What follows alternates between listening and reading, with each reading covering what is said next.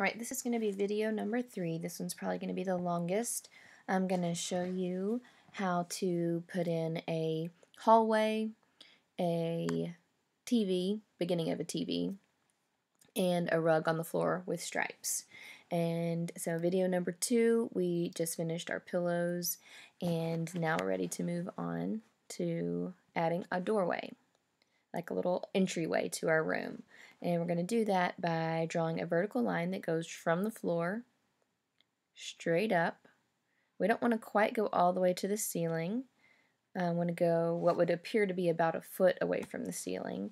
If you look around um, at your house, you should see that the door, there's about a foot of space from the door frame to the ceiling. Okay, draw that in. And now we want to take the top of that line and draw it to our vanishing point. Okay, because this part of the doorway is going away from us. So in order to show that it's going away from us, it's got to go to that dot. Just like that. And then we want to imagine um, about how long, about how wide do we want that doorway. We don't want it too wide, so you can see I made it a little bit darker right here. Um, and that's where we're going to stop the doorway opening and we're going to draw a vertical line from the top of that door opening down to the floor. Okay, and then you need to erase erase the extra that you don't need. And then the next step would be to show how the doorway, um, the frame, so right now this could be a door, right? You could put a little doorknob on it and now it's a door. It's, it's closed. Um, but I like to make it look like an entryway and gives it more depth. So we're going to do that by looking for, let me go back a second. Um, so right now if we look for obtuse angles, that's going to let us know where to put in a horizontal line. So we need to figure out where can, which corner of the doorway can we put a horizontal line that would show inside through the doorway. So we can't put a horizontal line here, that would be outside the doorway. We can put a horizontal line here, which means this is an obtuse angle. Okay, so we're going to put our first horizontal line perfectly straight across um, right here. And then we also have an obtuse angle down here, which would also allow us to put in another horizontal line to show the floor. So now we've got a floor and we've got a ceiling in our entryway. All right, and then if I go forward, I'm not sure what that line was. Oh, forgot to forgot to do something somewhere. Oh well. Okay, so then we're going to erase the floor. We're going to erase the bottom of the wall to show that it is a um, open continuous space, so it turns a corner. Alright, so now we want to move on to how to create um, a TV, like a flat screen TV. And we're going to start by um, drawing a very skinny rectangle that is parallel to our doorway. Okay, so they don't touch very skinny and slim. And now we want to take the two corners closest to the vanishing point and draw lines to the vanishing point. So this one, bottom one was already in. I messed up on the animation somewhere. Alright, so next step is to figure out how long we want that TV to be. We want the TV to end before the back wall. We're going to put in a vertical line straight up and down. So like sides are parallel, right? These two, these two lines are parallel. This line is also parallel. These are all like sides.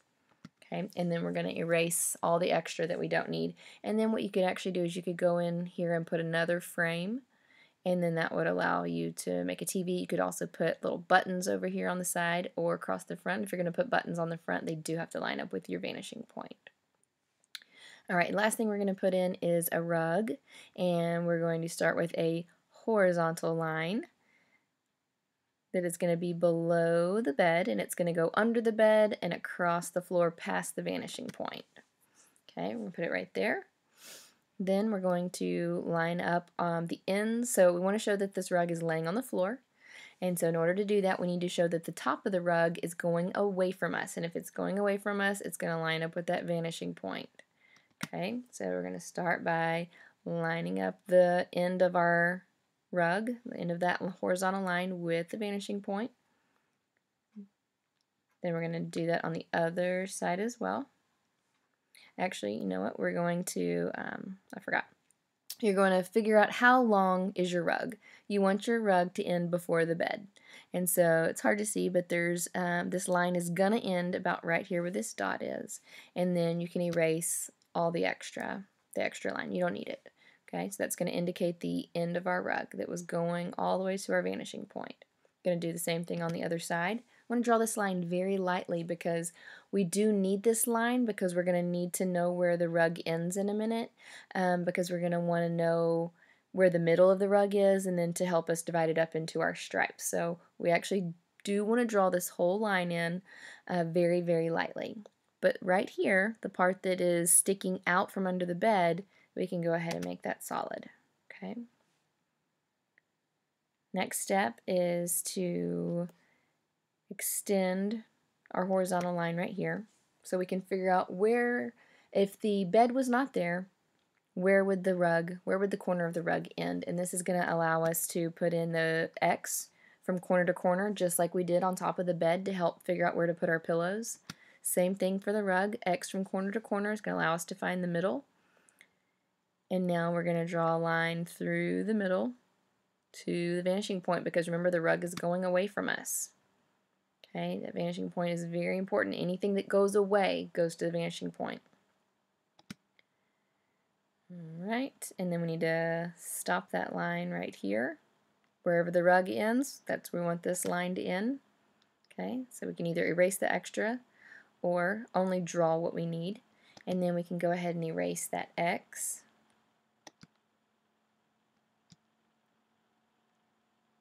and then we're going to put in our stripes. So when I look at this, um, I could very easily imagine this being divided into three equal parts. Okay, and then this being divided into three equal parts or four equal parts. It's up to you. Um, or you could divide it in half. Okay, um, so I'm gonna. These are going to the vanishing point, right? These stripes are going away from us. And if I were to extend them, extend them all the way out, you would see it does go to the vanishing point. And we're going to do that all the way across. Each one slightly rotating more and more to go to the vanishing point. And here is um, our basic room.